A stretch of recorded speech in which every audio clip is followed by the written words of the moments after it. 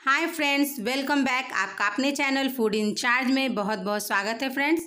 आज मैं आप लोगों के लिए लेकर के आई हूँ साबुदाना और आलू की टिक्की की रेसिपी जो बहुत ही टेस्टी और क्रंची बनती है। इसे बनाने के लिए हमने लिया है वन कप साबुदाने और वन बॉयल्ड आलू। साबुदानों को हम मिक्सर जार में डालकर इसे थोड़ा सा ग्रैंड कर लेंगे और आलू को हम अच्छी तरह से मैश कर लेते हैं। आप चाहें तो इसे ग्रेटर से ग्रेट भी कर सकते हैं। मैंने इसे मैश किया है। हम आलूओं को अच्छी तरह से मैश करेंगे, ताकि इसमें कोई भी गुठलियाँ ना रहें। तो चलिए अब हमारे आलू अच्छी तरह से मैश हो चुकी हैं। अब हम इसमें डाल लेते हैं साबुदाने और हमने इसमें डाले हैं हरी धनिया की पत्ती।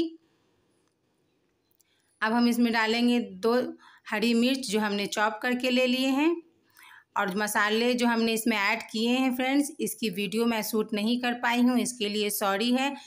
मैंने स्क्रीन के ऊपर इसके इंग्रेडिएंट्स को लिख दिया है। आप इसे स्क्रीनशॉट करके देख ले, देख सकते हैं। और साथ ही हमने इसमें ऐड किया है पीनट्स बटर। इससे हमारे टिक्के में बहुत ही अच्छा सा टेस्ट आता है। आप इसे ज़रूर से डालें फ्रेंड।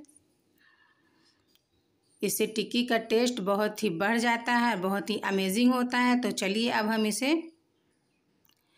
मिला लेते हैं। तो हम इस, एक स्पून की मदद से हम इसे मिला लेंगे।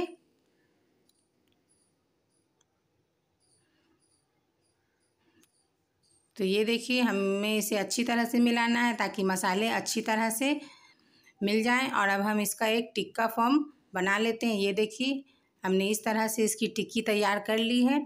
आप हाथ में ऑयल ज़रूर लगा लीजिएगा, वरना ये हाथ में चिपकते हैं। तो ये देखिए हमारी टिक्की एक बन चुकी है, इसी तरह से हमें अपनी सारी टिक्कियों को कर लेना है तैयार।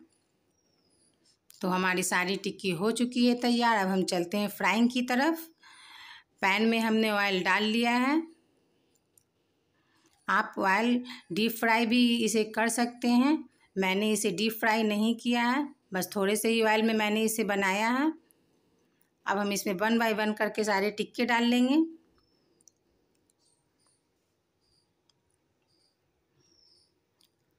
ये बहुत ही क्रंची और टेस्टी सी बनती है। आप इसे अपने घर में ज़रूर बनाएँ। तो ये देखिए, अब हमारे टिक्के जो हैं, वो एक साइड से अच्छी तरह से पक चुके हैं। हम इन्हें पलट लेते हैं। देखिए, इनमें कितना अच्छा सा कलर आया है। फ्रेंड्स, आपको मेरे वीडियोस कैसे लगते हैं?